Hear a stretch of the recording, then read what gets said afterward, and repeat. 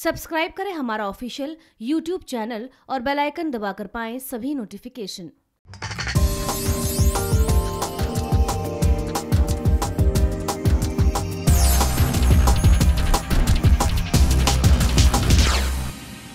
खीरा।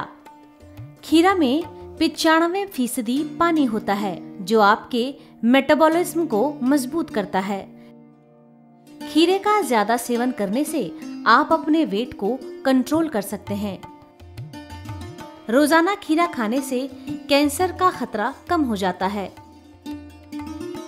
खीरे का ज़्यादा से ज़्यादा सेवन ट्यूमर के विकास को भी रोकता है।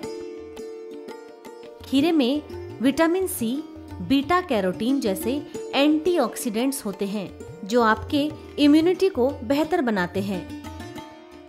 खीरे को छिलके समेत खाने से हड्डियों को फ़ायदा पहुँचता है। खीरे के छिलके में सिलिका होता है जो हड्डियों को मजबूती देता है।